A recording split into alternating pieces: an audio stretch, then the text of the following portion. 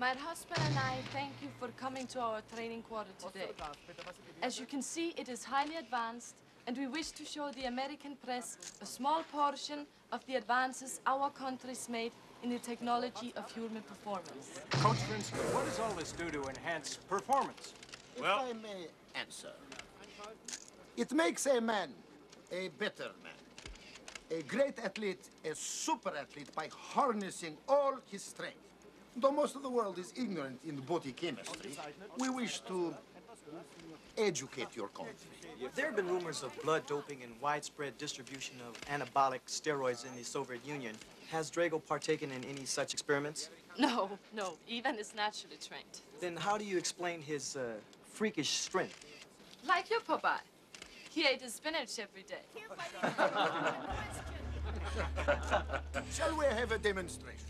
Please do. Thank you.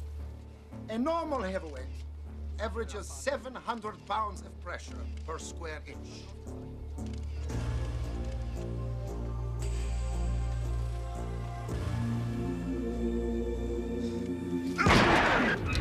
As you can see, Drago averages 1,850 pounds. So the result's quite obvious. And what results are those? Whatever he hits, he destroys.